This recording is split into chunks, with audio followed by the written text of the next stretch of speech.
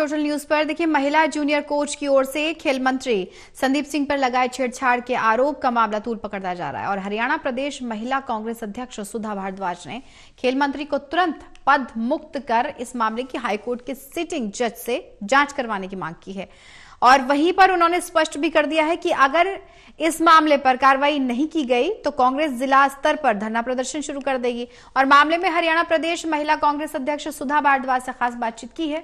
हमारे bureau chief Anil Kumar ने, देखिए वो क्या कह रही हैं। एक महिला जूनियर कोच द्वारा मंत्री पर लगाए गए आरोपों का मामला तूल पकड़ता जा रहा है। इस समय मेरे साथ हैं हरियाणा प्रदेश महिला कांग्रेस की अध्यक्ष सुधा भारद्वाज। इनसे जानते हैं कि वो इस मामले की जाँच क्यों करवाना चाहते हैं। जी। देखिए, ये बहुत ही हरियाणा के लिए दुर्भाग्यपूर्ण स्थिति है कि हरियाणा में जहाँ पर कि हमारे माननीय प्रधानमंत्री जी ने ये नारा बेटी बचाओ, बेटी पढ़ाओ का दिया था, और आज हरियाणा की ये स्थिति हो रही है कि यहाँ पर बेटियाँ जो बीजेपी के नेता हैं, उनसे ही बचाने की ज़रूरत पड़ रही है। तो जो हमारे खेल मंत्री संदीप सिंह जी ने इसके ऊपर आरोप लगाया है, एक जूनियर महिला कोच ने तो ये बहुत ही दुर्भाग्यपूर्ण स्थिति है।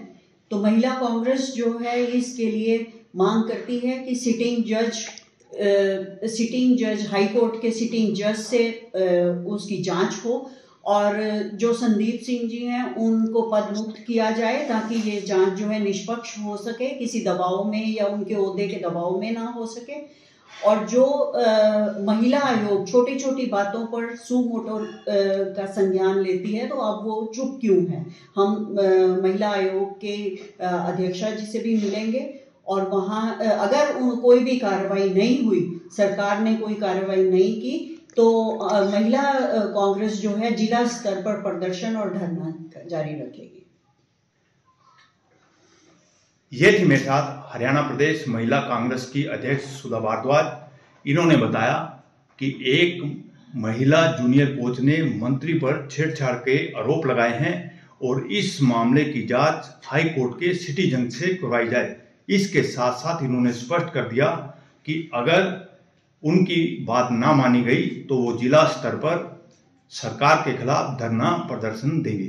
Anil Kumar total news Chandigarh.